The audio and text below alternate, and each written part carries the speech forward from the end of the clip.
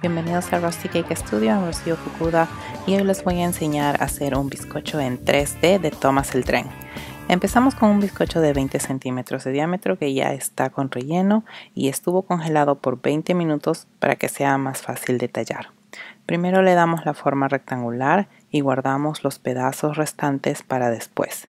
Tallamos la forma de la parte delantera de arriba que es media cilindrada. Luego tallamos la parte de atrás de arriba que es un poco curveada y más alta que la de adelante. Para darle la altura podemos usar uno de los pedazos de bizcocho que guardamos del comienzo. Limpiamos la base con una brocha y cubrimos el bizcocho con crema de mantequilla y lo refrigeramos mientras preparamos el fondant. Estiramos el fondant de color azul de forma rectangular y calculando que sea lo suficientemente grande para cubrir todo el bizcocho y dejar al lado. Retiramos el bizcocho del refrigerador y cortamos la base de tamaño del bizcocho y está listo para ser cubierto.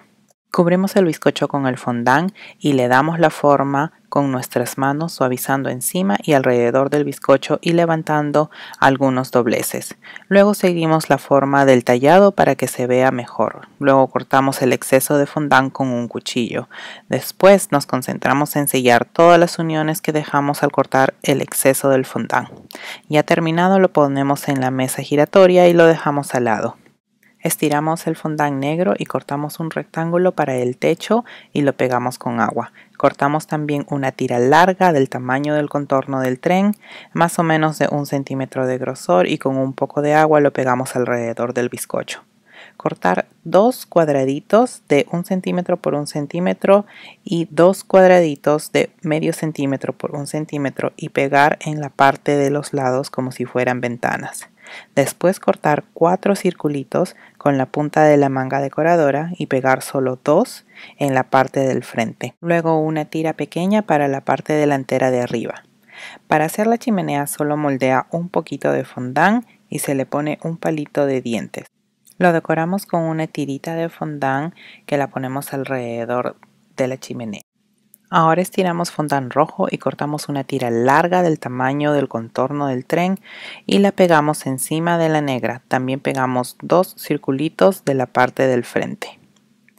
Para las llantas cortamos cuatro círculos del color azul. Aprovechando que tenemos el resto del azul en la mano, hacemos la segunda chimenea pequeña que va encima del centro del tren.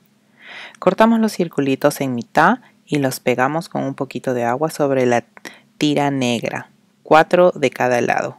Con un plumón de color comestible de color negro dibujamos un medio círculo y las rayitas de las llantas en ambos lados. Con una manga decoradora con glaseado de color amarillo decoramos los detalles de las ventanas y del frente. Con otra de color rojo decoramos las líneas y los detalles de los lados. Para hacer la cara estiramos fondant de color plomo. Medimos su tamaño perfecto para la cara y cortamos dos círculos. Cortamos la parte superior del círculo y lo pegamos en el otro círculo como frente.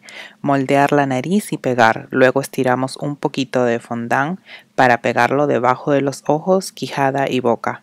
Volteamos el círculo y modelamos con los dedos y estecas para revelar el rostro. Con la punta de la manga hacer la boca hacer dos bolitas de color blanco para los ojos, cortar cualquier exceso de tamaño de la cara, pegar los ojos con un poquito de agua y con un plumón negro dibujar las cejas y los ojos, poner la cara en el tren con un poquito de agua y alisar los bordes. Pueden ver el bizcocho completo en mi blog en el cual pondré el link en la descripción debajo del video.